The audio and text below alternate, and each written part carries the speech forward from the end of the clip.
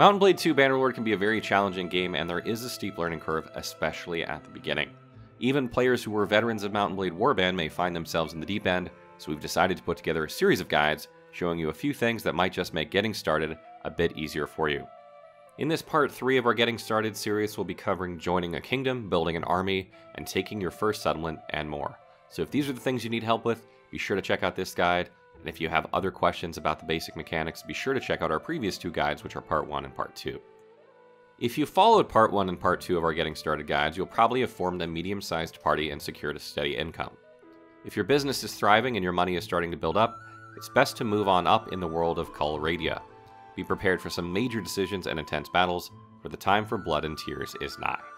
There is some deep lore behind the factions involving a long history of wars and betrayal. At the start of the game, the Empire is split up into three smaller kingdoms the Northern Empire, Southern Empire, and Western Empire, while the other five kingdoms try to use the opportunity to expand their lands and resources or just seek out revenge.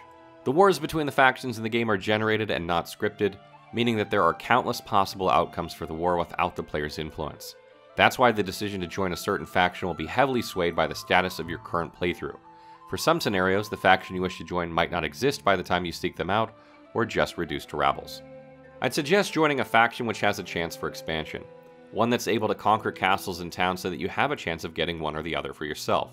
You will also need to have a positive standing with that faction, or at least with some of the nobles, because it would be easier to steer the vote for the owner of the newly conquered territories towards yourself. Be warned that you may lose some of your investments if the faction you join is at war with the faction where you established your workshops. You need to talk to the faction leader and ask him to pledge your sword.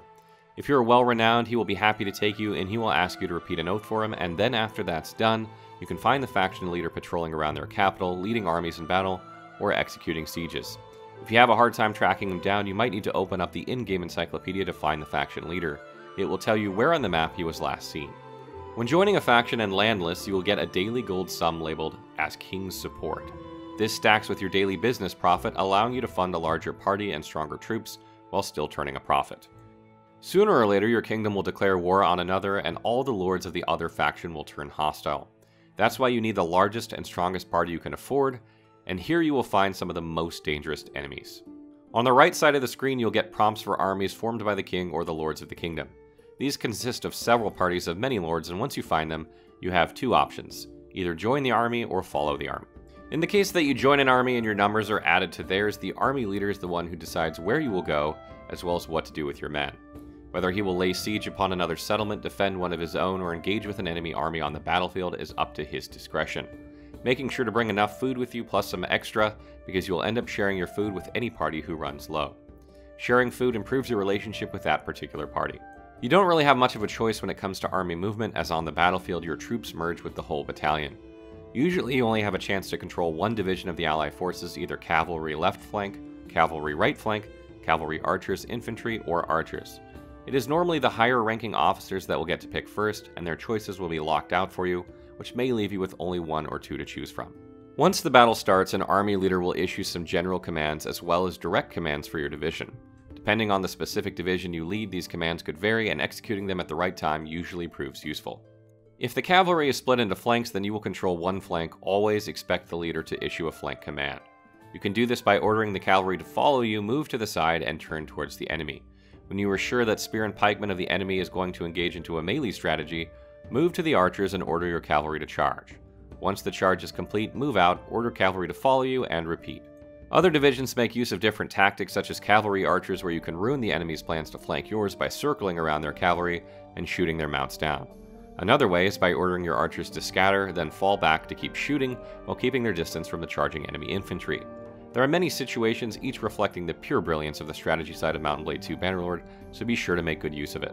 Depending on the maximum troops allowed on the battlefield from gameplay options, enemies and allies will keep battling in waves and tactics will keep evolving until all troops of one side have been killed, wounded, or have fled. Following the army is rather interesting. Instead of joining the army and being under command of the army leader, you can just follow the army around until they engage in battle, and only then you can go and join the battle in their aid. That way, your party will stay independent of the army and you have full control of all your troops in battle. You can use this option to minimize casualties in your party by letting allies take the heat and your troops stay back shooting at their leisure. Or, when you want to add the element of surprise, targeting an enemy's specific strategy. But beware of ally fallback orders as you might be charging an enemy and they will suddenly leave your troops all alone. That might wipe out your entire party if you are not careful. If your allies are outnumbered and your aid helps to save them from a dire situation, your relationship with the army leaders and marshals will be increased noticeably. Either way, if your faction army keeps winning and you are with them, you will grow your influence. This is another important currency that is vital to gain outcomes in favor for every decision in the kingdom. Whether you plan to stay in your faction or create your own kingdom at endgame, you need to start with getting land, castles, and towns. The easiest way to get fiefs is to conquer them with the help of your faction you need to check all armies of your kingdom and join the one going to siege a castle or town. Sieges have three main phases, and if you're on the offensive side, you don't have control over any troops but yourself. First phase, building siege weapons. This phase occurs on the world map, your camera will be locked on your siege camp and settlement you are besieging. There is also a bar that indicates just how much progress is made for each siege weapon.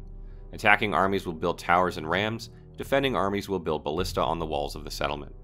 In this phase, your engineering skill will come in handy or the skill of your dedicated engineer in your party. You'll need to take part of any siege if you want to improve this particular skill. Second phase, deploying troops and siege weapons. Once your army's leaders are satisfied with the siege weapons built and decide it's time for an attack, you will receive a prompt to join the attack. This takes you into a long loading screen, and then you are presented by a gorgeous overview of the entire castle and outskirts. Here you are given very little choice, as all you can do is take a deep breath and place each siege weapon in or on the few spots that are presented. This is a tactical view which you will not get again during the siege, so it's better to take mental notes about where you can do the most damage to your enemies. Here you will be able to identify the weakest point, how to quickly get on top of a tower if you are an archer, and much more. It's one of these moments where Bannerlord shows its qualities in visuals as well as gameplay. Castle sieges are not new to the Mount and Blade games, but in Bannerlord it's more polished, expanded, and with better AI. You have a chance to contemplate here and put your siege towers in a proper place before things get intense in the next phase. Third phase, the assault. Press begin battle, the camera will pan down to your character and the siege assault will begin. Troops operate the siege towers and rams moving towards the walls. Enemy archers will rain arrows upon them and some will die. Other troops will replace them and keep pushing towards the walls. Your army archers will move behind fences to try and bring down enemy archers, but the enemy has the height advantage and can deal more damage. If you're an archer yourself, you can make a huge difference here by choosing your spot wisely, aiming truly, and making every arrow count. If you're on horseback, don't dismount yet. The horse gives you a little bit of elevation and a better angle to aim. Stop the horse and keep shooting archers from both sides until your lads breach the gate, and then proceed to place ladders. Once done, switch your focus towards the defending infantry who will engage your troops over the walls. You'll have a great bulk of enemies ripe for headshots. Shoot once and evaluate your aim. If your arrows fall short, you need to aim higher over their heads, and if there are some lords defending the castle with their heavy infantry, chances are their first line are heavily armored troops, and it will take your infantry some time to take them down. This is a dangerous spot to be in because your side will try to hinder the opposition by climbing ladders, they will easily be exposed to the enemy archers. However, most armored troops have their heads exposed with a lighter helmet, so you can bring down at least a few troops, and this can make all the difference. You may need a bigger quiver for more arrows here, or even bring more than one quiver if you're going full archer. The final push. When allies establish safe spots on the walls, this will be a good indicator to get over the walls yourself. Dismount and rush towards the ladders as allies tend to make space for you to cross. Draw your shield, climb the walls, and find the quickest path to the towers, and recall their position from the previous phase. The towers have either dead archers with quivers thrown on the ground for you to replenish your own, press left alt to highlight them, or arrow stands where enemy archers have used to refill their own quivers. Once restocked, you can choose a high point and shoot down the remaining resistance. If all goes well, victory will be yours, your faction will have taken the castle from the enemy. Now politics will play its course, and you'll get a chance to take the castle as your own. Before the adrenaline in your veins subsides after the intense battle, you'll get a prompt on the right side of the screen saying that the castle has been taken and it's time to decide who takes ownership. If you think you deserve it after all the work you've put in, but after pressing the prompt, it takes you to the Kingdom panel to find the vote is not going in your favor. Don't despair, as you will still have a chance to grab this sweet castle. You can simply spend influence to get the new fief, just choose yourself in the vote screen and spend 50 points to influence the vote. Usually 50 is enough if you have some lords in the faction who like you, but if you find 100% support against you, you probably need more influence spent to persuade them. If your influence is not enough and there's no one to bat for you in your corner, you have to pass this vote and wait for another siege or settlement to take. But if everything goes well, congratulations are in order, you've got your first settlement and have taken a huge step in the world. This wraps up our Conquering Guide for Bannerlord of our starter series, and our next guide will be covering how to manage the settlements you've gained. Stay tuned for more guides from Mount and Blade 2 Bannerlord as we plan on sharing more in the upcoming weeks. In the meantime, be sure to drop by the Mount and Blade 2 Bannerlord wiki for all the latest info, and check out our Part 1 and Part 2 of the series if you need more help with the game. Thank you.